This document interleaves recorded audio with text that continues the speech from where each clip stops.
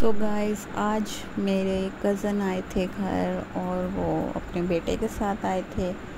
तो क्योंकि मोहम्मद राफ़े, मेरा प्यारा भांजा भी हमारे घर आया हुआ है तो फिर जब चाय के साथ चीज़ें रखी गई तो लेस, जो कि राफ़े के भी फेवरेट हैं और हसन के भी तो वो शौक़ से इन्होंने खाए और राफ़े ने फिर क्योंकि बार बार ले रहा था तो मैंने प्लेट लेके बिठा दिया और अब वो हसन को भी मूड हो रहा था लेज़ खाने का। अब हसन उसको देखी जा रहा है कि मुझे भी ले दे, पर वो कभी दे रहा था और कभी नहीं। फिर ये जनाब चले गए अपने मामू के साथ।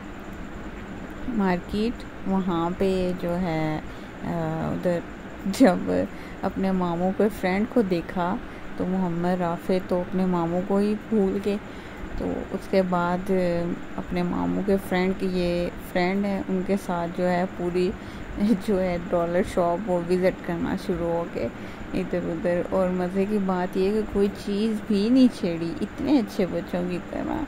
व्लॉग अच्छा लगा हुआ तो कमेंट करें।